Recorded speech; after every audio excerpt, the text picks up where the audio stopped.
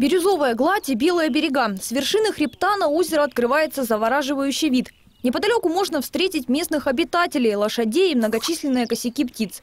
Вода здесь соленая, но это ничуть не мешает краснокнижным пернатым. Мы находимся на территории участка Камызякская степь с озером Улухколь, заповедника Хакаски.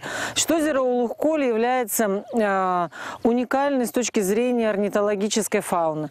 Это озеро внесено в перспективный список Рамсанской конвенции. Э, в, в пути Э, в дни миграции здесь собирается иногда до тысячи э, особей различных видов птиц. Улук-Коль служит перевалочным пунктом в период с мая по июнь и с августа по сентябрь. Сюда летят самые редкие птицы – кулик-шилоклювка, тундряной лебедь, сапсаны. И это далеко не полный перечень. На озере Улук-Коль задерживали и нарушителей – охотников за соколом-балабаном. Браконьеры ловили птенцов, затем переправляли в Арабские Эмираты. Цена на такую охотничью птичку достигает до нескольких десятков тысяч евро. В настоящий момент времени это пока не сезон, пока э, браконьеров еще госинспектора не встречали на, ни на территории э, сопредельной, ни на территории заездов заповедника тем более.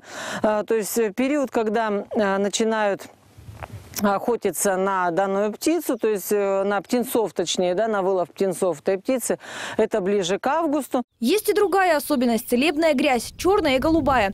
Она-то и притягивает народ со всех уголков Хакасии и Красноярского края. Лечат суставы. Ну, мажемся, что надеемся, что сероводородом пахнет, что люди приезжают, хвалят, что очень лечебное даже, также для суставов. Водичка у нас тут тепленькая, плаваем тут хорошо.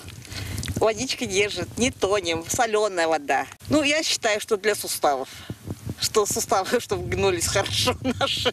Озеро Улуколь знаменито не только своей краснокнижной флорой и фауной, но и целебной грязью. Телекомпания РТС тоже решила проверить чудодейственные свойства.